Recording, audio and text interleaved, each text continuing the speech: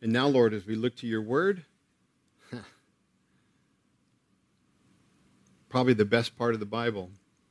And so we're going to look at it now. We pray for your Holy Spirit to come, as Melissa prayed earlier, and touch our hearts individually with the message that everyone will be hearing. In Jesus' name, amen.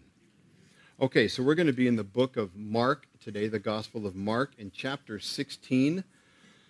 So if you have a Bible or an electronic device, that's where you want to turn. Now, if you have an electronic device, you may also have a cell phone, or if some of you are still with the Flintstones, you may have a pager.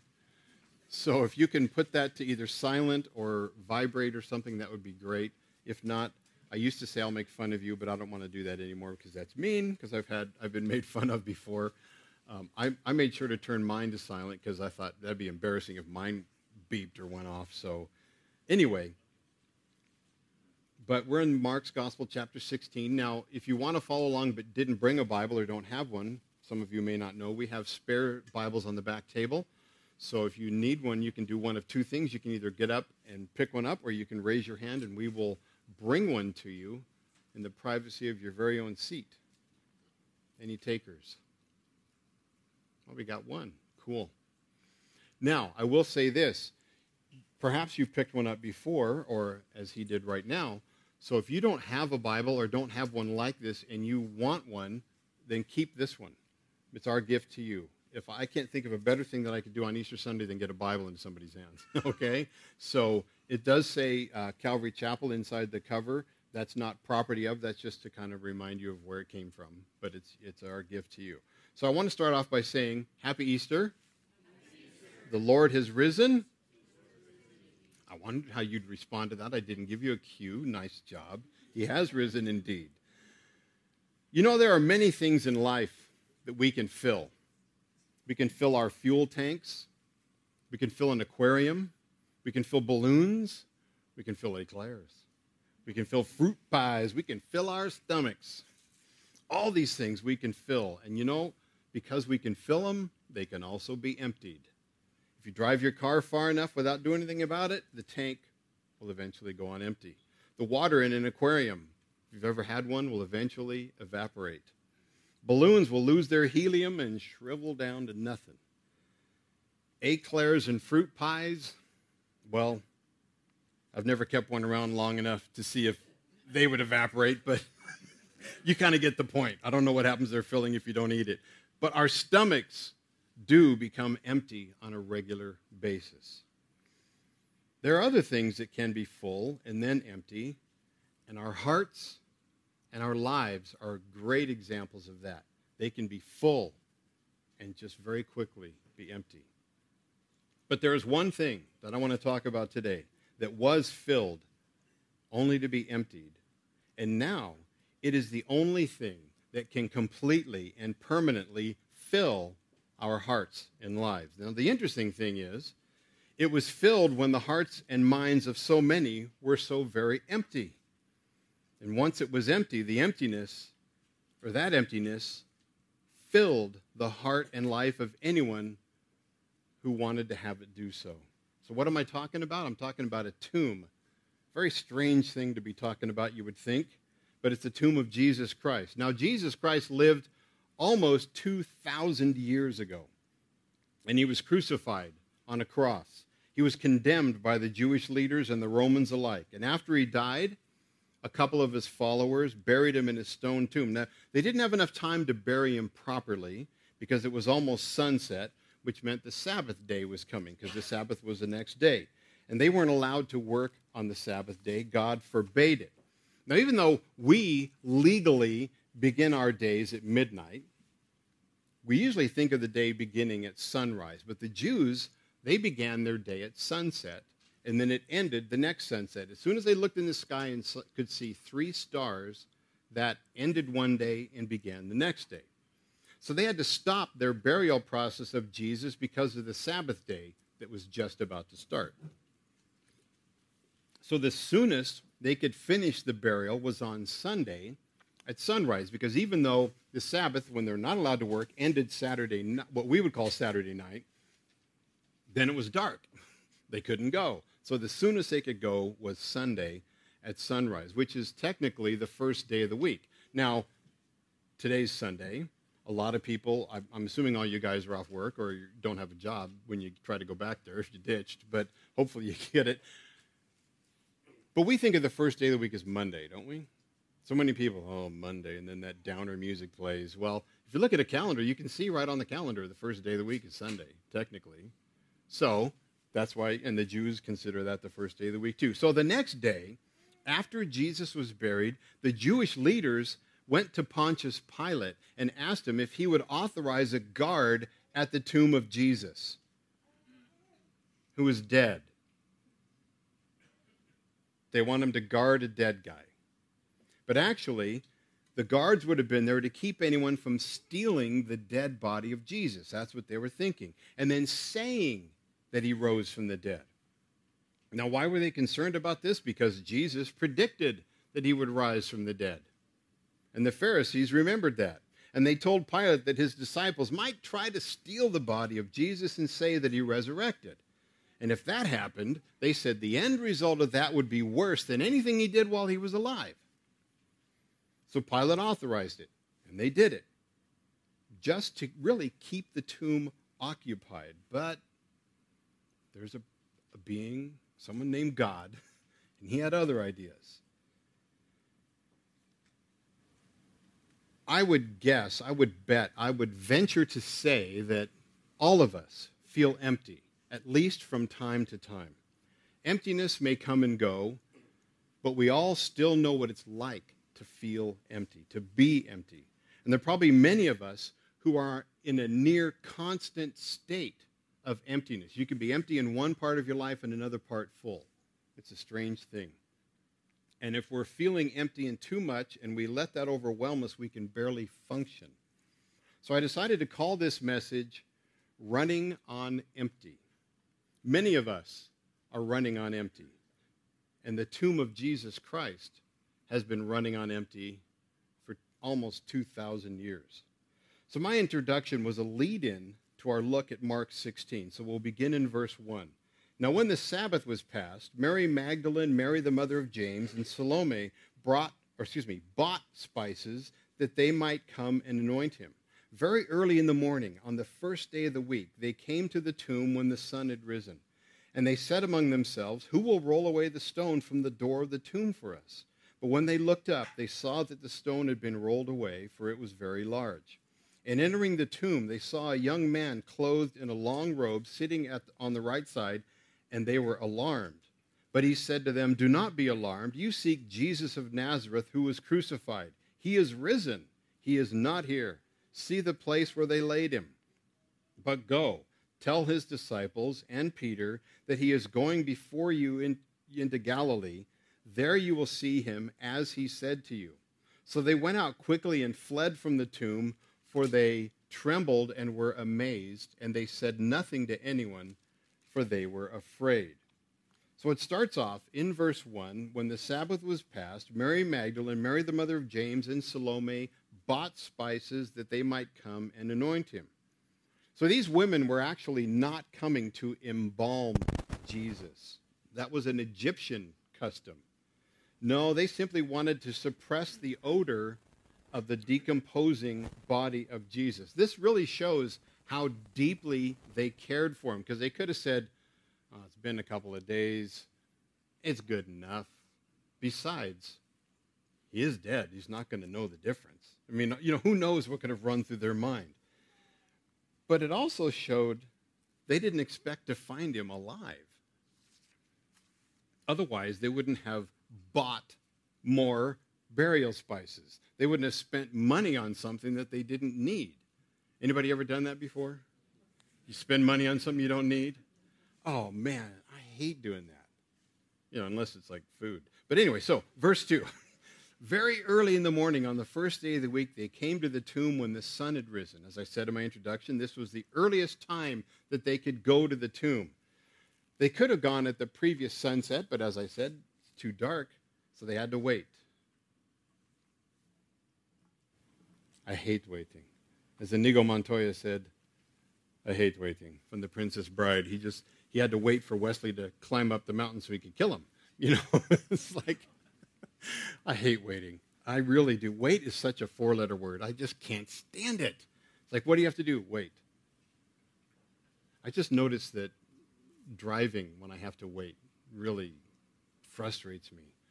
I don't know what the deal is in Kuna, but so many people seem, and I haven't found it in Boise, so I don't know. But I'll pull up to a stop sign that someone has already stopped at, and they wait, and they have plenty of time. It's clear there's no one else. They wait for me to come to a complete stop before I go, or before they go, and I'm like, I'm, I'm slowing way down. I mean, it isn't even two miles an hour. It's stop. Then they go. I hate waiting. Anyway, so I'm sure that these women hated waiting too. And all they could do is wait and sit around and mourn the fact that Jesus had died. So now that they have the spices and they're together, it's light enough to see what they're doing, and they're heading to the tomb. And along the way to the tomb, they come to realization. Oops, verse 3 And they said among themselves, Who will roll away the stone from the door of the tomb for us? Now, I don't know about you, but I've done things like this. Carefully planning every step of the way, only to forget the most obvious and first step. It's so frustrating. I was a service plumber for over 25 years, and I can't tell you how many calls I went on where either the, no hot water and the person hadn't paid their gas bill. The water heater's functioning fine, it just can't. or they turned off the breaker or it tripped, or something simple like that. You know, it's, I know that that's what they do on those, um, what's it called, where you get help if you want, with something you purchase, you call it, what's that called? Tech support. Tech support. One of the first questions is Is there power to the thing? And is it turned on? They say, Well, I can't see the plug. How do you know if it's plugged in or not? I don't know. Well, there's a, a power outage. That should tell you right there why it's not working. So funny. So, anyway, they didn't plan. They weren't big enough, they weren't strong enough to roll the stone away from the door of the tomb. So it seems as though they came to this conclusion when they were almost there. And it's like timing is everything. And, and they were really late in their realization because they probably would have, if they'd been closer to where they took off from, they would have turned around and gotten some help. But now they're, you know, they're just steps away from the tomb. So what happens? Instead, verse 4, when they looked up, they saw that the stone had been rolled away, for it was very large. See, this is one, just one of the many, many cool things that God did in the Bible. The women realized they needed the stone rolled away because they couldn't move it themselves. God knew it too. So he did it for them. He sent an angel to do it for them. Matthew 28, verse 2 tells us an angel rolled away the stone and then he sat on it. Like, it ain't moving again. I rolled it away, and then I'm going to sit on it to keep y'all from putting it back because that's not where it belongs. I'm sorry, there's like a hair across my eye. I think I got it. Let's see. So, now, that says the stone is very large. I love this. In the, the Greek, the word large is megas, kind of like we call mega things, whatever, very big. And it means great, of the external form or sensible appearance of things, in particular of space and its dimensions as respects to mass and weight. This is a big stone. It's huge. It's so big it can cover up the doorway of this tomb, which will keep out predators, keep in the odor, and protect the body from anybody vandalizing it, or maybe if there are any valuables, they could try to go in and rob it. Because what they would have is a sloped groove in front of the tomb, they would just have the stone up there and they just roll it down and it would sit there. There's no way you could get in. Plus, remember, they went to Pilate and Pilate said, seal it, and they had guards. So it's going to be a tough thing for them to get this open. Now, why was the stone rolled away? They saw that it was rolled away. It's very large and it's rolled away. Was it so Jesus could get out? Because, you know, he just kind of went through a very traumatic thing. It's going to be tough for him to get that stone out of the way. Actually, no, though. John 20 tells us twice that after Jesus resurrected, the disciples were in the upper room with all the doors shut, and Jesus appeared to them. Just, I don't know if it was like Star Trek, you know, beam me down, Scotty. I don't know. But he was now in his resurrected body. He could go through walls. So he didn't need the stone rolled away. So why was it rolled away? It was rolled away for our inspection so we could see that he was resurrected. Do you know what? His tomb is still empty to this day because he rose from the dead, which means what? He's alive. No one I've ever heard of in all of history has referred to Jesus as the late Jesus Christ. Anybody ever heard that? No, they just talk about Jesus. It's always Jesus Christ or Christ or Jesus or the Lord, but they never say, you know, the one who's dead. No, they just call him Jesus. So these women see that the stone was already rolled away. So what do they do? Verse 5 they go in, and entering the tomb, they saw a young man clothed in a long white robe sitting on the right side, and they were alarmed. now, when they got there, I'm still not sure if they really knew what had happened. So I'm confident they went into the tomb expecting to see Jesus still laid out on the slab, wrapped up, ready to embalm him. Not embalm, but uh, anoint him with spices. Now, Luke 24 3 kind of uh, confirms that. It says, They went in and did not find the body of the Lord Jesus. If they didn't find the body, what does that mean? They were looking for him. But they did find somebody they saw a young man clothed in a long white robe sitting on the right side. Now, Matthew 28 gives us a little more information. It tells us that's not a man, it's an angel from heaven. And when they saw him, they jumped, they were alarmed.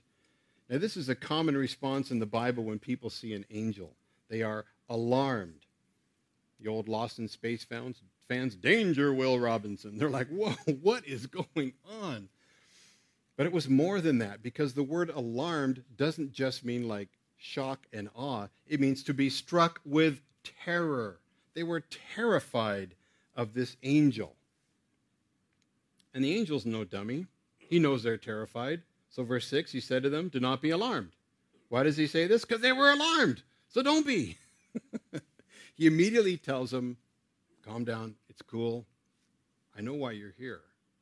And I'm as another Inigo Montoya line. Let me explain. Here's why. You seek Jesus of Nazareth, who was crucified. He is risen. He is not here. See the place where they laid him? Now, this is cool for more than a few reasons. First, the angel calls Jesus Jesus of Nazareth. Nazareth was not really a hot spot in Israel. It was basically one of the least popular places to go. Think of your least favorite city. Jesus of Winnemucca. You know, I don't know. I just love picking on that. First of all, I guess it's an Indian name, so I'm not, trust me, I'm, I'm just, it's fun to say, you know. And if you've ever been there, usually really tired, you're on your way where? Somewhere else, anywhere else. And you stop at Winnemucca. It's kind of like when you can't find a place to eat, so you wind up at Denny's. You know, it's just a place you end up at you don't want to be there, but here I am. Well, think of your least favorite city, and I'm not going to pick on any more because I don't want enemies from you guys because you all look nice. So, but you kind of get the point, and that's how Nazareth was. In fact, in John chapter 1, when Philip first meets Jesus, he goes to tell Nathanael, which, by the way, is a good thing to do when you meet Jesus. Go tell other people about him, but that's what he did. And he says, We found the long sought after Messiah. Jesus of Nazareth. And what does Nathanael reply? Can anything good come out of Nazareth? so that kind of tells you Nazareth is not the best, favoritist place to live. But Jesus, you know what? He's not ashamed of Nazareth. Call me Jesus of Nazareth. That's it. No problem. He's not ashamed of the town. He's not ashamed of the people that he grew up with. Which means this Jesus is not ashamed of you either. And I love that about him. In fact, he is so unashamed of you, he loves you. And he's on that cross because of you and because of his love for you. So, next, the angel says, Who was crucified. Now, what actually happened to Jesus when he was crucified? Well, it's a long process that began actually the night before he was crucified. First, he suffered tremendous anxiety in the Garden of Gethsemane, and the capillaries in his forehead burst, making his sweat bloody. This is a real thing. It's been witnessed even today.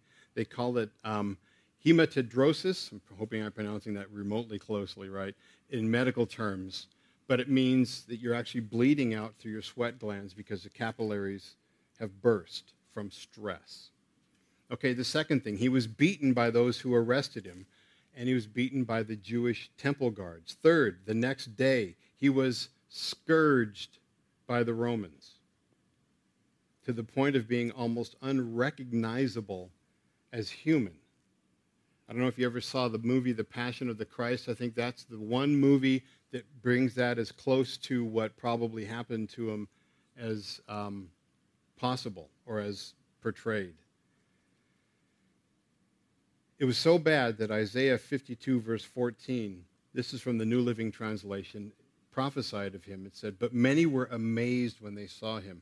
His face was so disfigured, he seemed hardly human. And from his appearance, one would scarcely know he was a man. That's how badly he was beaten. What they did was they, would, they were experts in what they did, and they would bring you as close to death as possible without actually killing you during the scourging. They would use it to extract information, to get a confession. And when there were slaves that were going to testify in court, the only time they would testify in court is if they were being scourged because they figured they'd tell the truth during that. This is how terrifying that was. And he went through that. And part of what the Romans did was especially awful. Isaiah 50, verse 6 from the NIV.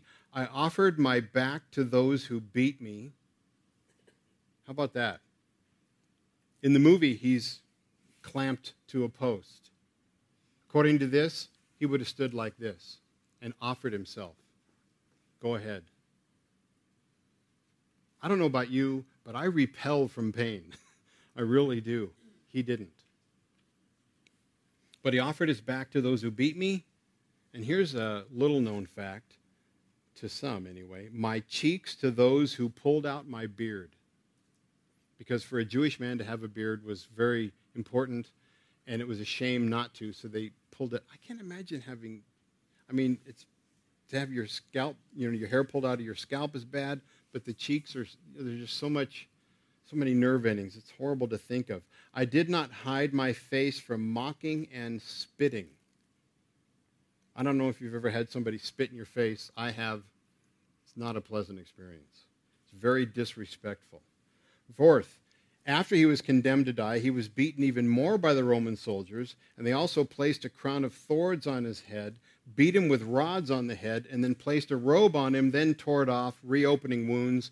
They put a hood over his face, punched him, and said, Prophesy, king, who's hitting you?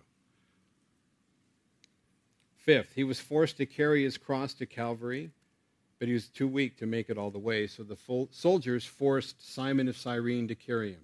Now, we, after all this, we finally get to the crucifixion part.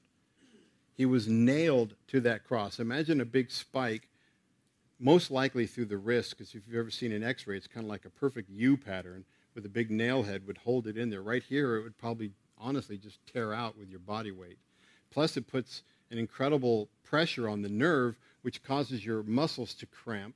And then they would put a nail through his either, either his heels or through the front of his feet into a block, but no bones were broken, so they had, not that they had to be careful, but they were careful to do that. And the only way, what it would do, it would lock you in a position of inhalation. you have inhaled normally. So the only way you could exhale is to push up on that nail in your feet to get enough strength and release the pressure to exhale. And then you could inhale and exhale. And you could only stand that on your feet so long, so then you go down and hang. Now, fortunately, you don't have to breathe very often to stay alive, do you? Six hours he hung up there doing that over and over and over and over, rubbing his back that was shredded against that cross. This is what crucifixion was. It was so horrible, if you were a Roman citizen, unless Caesar himself said so, you couldn't even be crucified. They didn't even want to talk about it, they didn't want to see it. It was so horrible. And they would just line the roads with crucified victims to show you want to start an insurrection, this is what's going to happen to you. Rome had peace, but only because of an iron fist. And this is what they did to Jesus. And then he died on the cross. And of course, the Bible says he gave up his spirit. In a way, they didn't kill him. He says, I have the power to take my, lay my life down. I have the power to take it back up again. Because it said, when he said the last thing, it is finished, and then, Father, into thy hands I commit my spirit, he said it with a loud voice. He didn't barely get the words out. And it's like he just said, it's done, and then he just shut off. And honestly, it's just, I'm done. And he died. The Roman soldiers, who were professional executioners, they knew he was dead because what they would do is to get him off the crosses quicker, they would break their legs between the knee and the ankle, and then they couldn't push up, and in a matter of minutes, you'd be dead. You couldn't inhale anymore or exhale, so you were stuck. But they knew that Jesus was dead. He's dead already. But to keep the prophecy, they didn't know it, but to keep from breaking prophecy and not breaking a bone, they just grabbed a spear and stuck it in his side. Now, not, not like just like this, but they stuck it in until it punctured all the way across into the heart. And when they pulled it out, blood and water came out. So there was that pericardium fluid had developed around his heart. Basically, his heart was crushed. Basically, he died of a broken heart, literally, with all that suffering. Now, if you listen to all that, if you listen at all, you realize Jesus was dead. The torture and the crucifixion would have been too much for him to survive. All four Gospels say he died. The Roman soldiers, they were professional executioners, made sure he was dead. That's what being crucified meant. In fact, if you've ever heard the word excruciating pain, it's from the cross. That's what that means. But after all that that he went through, as the infomercials say, but wait, there's more. The angel also said this He's risen. He's not here. See the place where they laid him. Look, he was right there, and he's not. The reason the women didn't find Jesus was because he was resurrected. David Guzik has a great comment on this. He says there are several examples in the Bible of people being resuscitated before this, such as the widow's son in the days of Elijah in 1 Kings 17, and Lazarus, of course, Jesus' close friend in John 11. Each of these was resuscitated from death, but none of them were resurrected at that time, for sure. Each of them was raised in the same body they died in and raised from the dead to eventually do what? Die again. Resurrection isn't just living again, it is living again in a new body based on our old body, perfectly suited for life in eternity. Jesus was not the first one brought back from the dead, but he was the first one resurrected. It's a huge difference. And then the angel wasn't finished. He goes on in verse 7. He says, But go, tell his disciples. Now, this is more important than we might realize. Because the angel, who is he telling this to? He's telling it to women to go and tell the disciples that Jesus is alive. And then eventually to go to Galilee, where he said he's going to meet them. They didn't even remember that he said that. They had a lot of things that he said. But if you ever hear bad news, and then people tell you more details after, and all you can think of is the bad news, you're kind of in shock. I think that's part of what happened. Plus, basically, God kept it from them, so they weren't going to ma- remember it no matter what. But here's my point women were separated from men in private, public, and religious life. Women weren't considered reliable witnesses in that day, they were not allowed to testify in the courts. But here the angel gives the best news ever to whom? Women. and he tells them, go and tell the men about it. And I haven't, it's, we're not going to get into it today, but when they told the men, a lot, the men didn't believe. How do you like that? they went and told him, like, yeah, whatever. Peter and John go and check it out. And eventually they do believe because Jesus appears to them. But I think it's pretty cool. Go, tell the disciples that he is going before you into Galilee. There you will see him as he said to you. It's so cool. You know, there's, I don't know what, last 30, 40 years, there's been a big movement for women's rights, for equality. Jesus started it couple thousand years ago. And I think it's pretty cool. I really do. But the angel wasn't done. He says, but tell the disciples and Peter. It's like, wait, wasn't Peter one of the disciples? he was. So why this specific instruction? Well, first, because God said to say that, so that's important, and they're obedient. Angels only do and say what God tells them to do. But second, it's because God is so concerned about Peter during the Last Supper. Peter's the one who says, Hey, maybe everybody else will deny you, everybody else will forsake you. But I would not. I would die first. I'm your man. Well, Jesus said in John 13, verse 38, this is from the New Living Translation. He says, Die for me? And I don't think he said this in anger, but matter of factly. I tell you the truth, Peter. Before the rooster crows tomorrow morning, you will deny three times that you even know me. And you know what happened? Jesus was right. Peter denied he even knew Jesus. Not once, not twice, but three times. And then it says he wept bitterly because right after he denied him three times, the third time, a rooster crowed, and one of the Gospels says that Jesus turned and looked at Peter. And I don't think he looked at him like. I think he looked at him like, I love you. I told you. Because I already knew. But he had that love, which would even be worse. It would be better if you were mad at him about it, because at least he could say, I deserve that.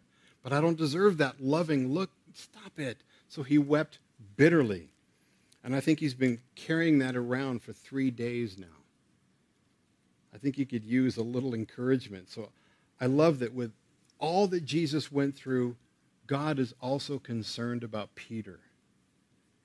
He wants to be sure Peter knows, I'm not mad at you. I'm really not. So here's time to interject a little question. Have you ever denied knowing Jesus? Have you ever let him down? Be encouraged. God wants you to know he still loves you just as much as he always has, which isn't any more than anybody else, but any less either. Loves everybody the same tremendously. So, what do the women do with this information?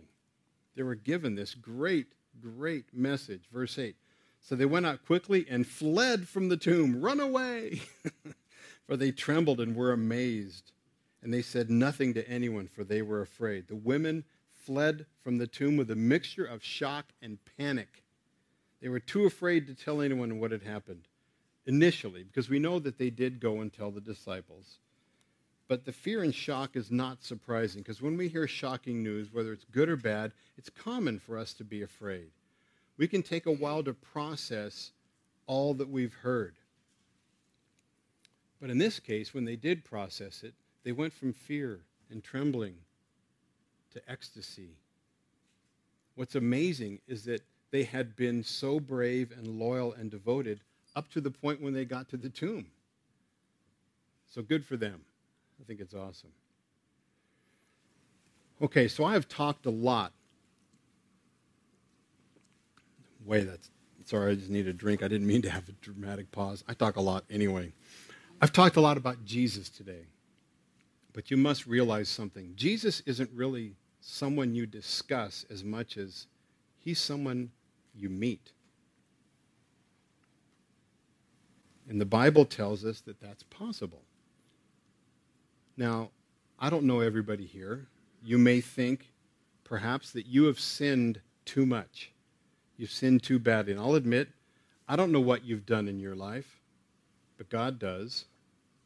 And He loves you anyway. Romans 5, verse 8, again, from the New Living Translation. But God showed His great love for us by sending Christ to die for us. When? Was it after we realized how sinful we were and we cleaned ourselves up? After we made ourselves worthy of God's love and affection? No. God showed his great love for us by sending Christ to die for us while we were still sinners.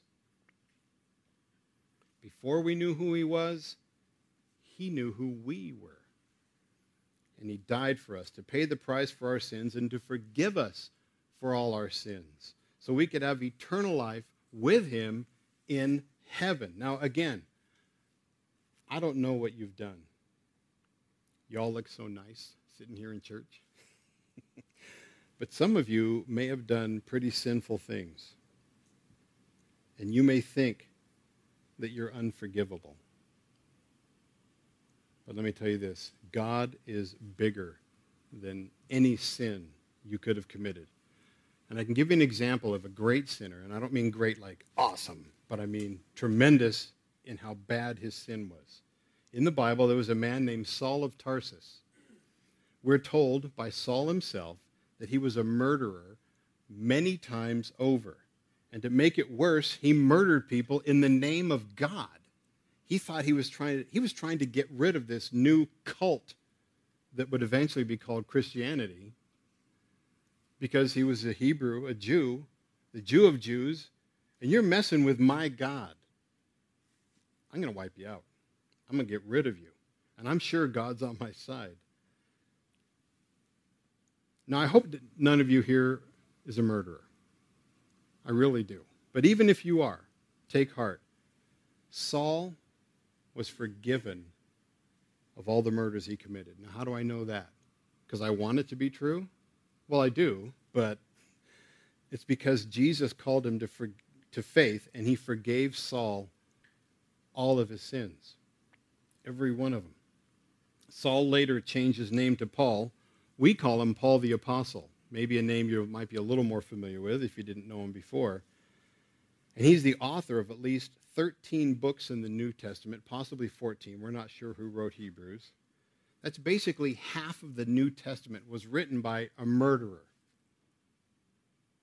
Now, reformed, yes. That's basically half the New Testament. God works with sinners. All he wants you to do is to repent, which means just turn around. You're going in one direction, and you change your life and you live for God. And it says God helps us with that. Ezekiel 36 tells us God can and will give us a new heart. Romans 6 says we can be alive from the dead. 2 Corinthians says we can be a new creation. Everything new. All the old has passed away. Anything you've done is gone if you just accept Jesus as your Savior and Lord. In 2 Peter, Peter tells us we can participate in God's nature. John says we can pass from death to life. Billy Graham says this the new birth brings about a change in the whole philosophy and manner of living. The resurrection of Jesus Christ from the dead means that the cross was the payment and the empty tomb, that's the receipt. I know personally that God loves you very much because Jesus showed that on the cross. Now, if you don't know Jesus as your Savior and Lord, because again, I don't know everybody who's here, God is speaking to your heart right now. Now, maybe you think, well, that can't be God. No way. Because a God big enough to create all we know would be shouting to get my attention, and everybody in the room would hear it at the same time, and they'd all go, Would you accept him so he'll just be quiet? We're scared. we know that that's true because if God talks, it's like the old E.F. Hutton, people listen. When he was literally coming down on Mount Sinai, and talking with Moses, Moses came down and then he went back up to get the actual Ten Commandments, and the people are like, well, "You go up there." That's scary. I don't. Talking with God can be a frightening thing when He's booming that voice. But that isn't how God operates when He's dealing with individuals. In 1 Kings 19, God made Himself known to the prophet Elijah when He showed him a great wind, but He wasn't in the wind. He showed him an earthquake but he wasn't in the earthquake. He showed him fire, but he wasn't in the fire. He wasn't in anything loud. He was in the still small voice. God, when he deals with you individually, trying to get through, because we all have thick skulls. You see, the, the tremendous thing about God is he created us with a free will, and we have this thing called the human heart, which isn't the muscle beating in your chest, but you know what I mean. And that is the part that keeps us from God or attaches us to God. Depends on how we want to direct it. That heart is hard. That's why in Ezekiel 36, that new heart, he takes out the heart of stone and gives us a heart of flesh, which is pliable and bendable. And, and we can be molded into his image. Well, that same still small voice that spoke to Elijah might be talking to you right now if you're hearing it. Don't ignore it. I called this message Running on Empty. You may be running on empty now, but I tell you this the tomb of Jesus Christ has been running on empty for over two, about 2,000 years. And it's that emptiness of the tomb that fills the emptiness of your life. The fact that Jesus is alive. Because he's one of three things. You may be scoffing still. They call him the three L's. He was either a liar, which means he wasn't who he claimed to be, he wasn't who people wrote about him to be, and he knew it, which would be really sad, because that means he went through all that torture and all that death, lying about it, and was buried, and then they faked everything. Or he was a lunatic, which means he went through all that and he's just nuts. Those are two options, and the only other option really is that he was Lord, that he really is who he said he is. And that's the only option that's logical, that makes sense. If you think about it. Because if you're a liar, by the time the scourging came around, oh, psych, just kidding. I'm not going to go through this. And if you were crazy, I don't think he could have done the things that he did. A crazy person could not be Jesus, the Jesus that we read about. So the only other option is that he really is who he said he is. And it's true. So, this running on empty. God created you with an emptiness in your heart that only he can fill. So, what I'm going to ask everybody to do, because I don't know you all, is to close your eyes and bow your heads. And if you don't know Jesus as your Savior and Lord, but you want to, this God who came in the form of man and came to earth and, and did so many wonderful things and raised people from the dead and loved people and gave rights to women that they didn't have and did all these things and then went through all that we talked about today and died and then three days later rose from the dead and eventually ascended into heaven, promised to come back for us. If you want to know that God, you can. And if you don't and you want to, He's speaking to your heart right now. Don't say no. Doesn't matter if, if you're with someone and you got to go right after church, they'll wait. This is too important. Don't worry about what they might think. Don't worry about what they might say. Don't worry about what are the guys at work going to say when I start talking about Jesus to them. Well, you know, maybe they'll convert too. I don't know. But the point is this He's speaking to you. The Bible says now is the accepted time. Now is the day of salvation. Today. We're not promised any more than right now. So if you want to do that and you haven't and you want to, just raise your hand right now. Is there anybody here?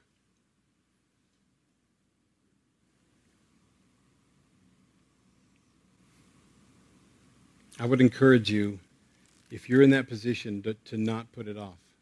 Now, you can, it's up to you, but this is a great shot, great chance. Anybody? Okay, so there's one other thing we can do while your heads are bowed. If you want to, as I like to call it, re up, maybe this message spoke to you and you realize, you know, I know this is true, God, but I'm sorry because I haven't been living it. I haven't been loving you. I haven't been responding to you. I haven't been focusing my life. If you want to rededicate your life to the Lord, then raise your hand right now. Okay, I see those. Anybody else? Okay. Anyone else? Well, those of you who raised your hands, what I want you to do, and if, if you didn't raise your hand but you want to, or even if you didn't raise your hand to accept the Lord and you want to, I'm going to say the same prayer. What I'm going to do is repeat, re- pray a prayer out loud and you repeat it after me, and I'll just do little pieces at a time. So repeat after me Dear Jesus, I know I'm not perfect, and my sins keep me from you. I need you in my life. I believe you died for my sins and rose from the dead. Please come into my heart and be my Savior and Lord. Thank you for forgiving my sins and giving me new life. In Jesus' name. Now, if you prayed that prayer, I just want you to know if you were already saved, you didn't get saved again. You just recommitted your life to Him. If you prayed that prayer for the first time, I just want to say, welcome to the family of God. Good for you. So let's close this thing in a prayer. Father God, we thank you for your great love for us, for this great message that we have today. Christmas is fun, but Easter is where the power is. Greg Laurie, you know this, Lord. He asked Billy Graham, if you could do things all over again, what would you do? And he said, I'd preach more on the blood because that's where the power is. Billy, Greg, any Bible believing Christian, let alone pastor, knows that the power is in the death and the resurrection of Jesus. So thank you for that, Lord, for doing that because of your great love for us. And as we go through the rest of our day today, may we radiate that love to anyone we come in contact with. And be prepared, as Peter said, to share the gospel with anyone who asks us a reason for the hope that is in us. And he didn't write it, but it's a hopeless world. And they need Jesus. So thank you, Lord, for coming, for living, for dying, for resurrecting to offer us new life. In Jesus' name, amen.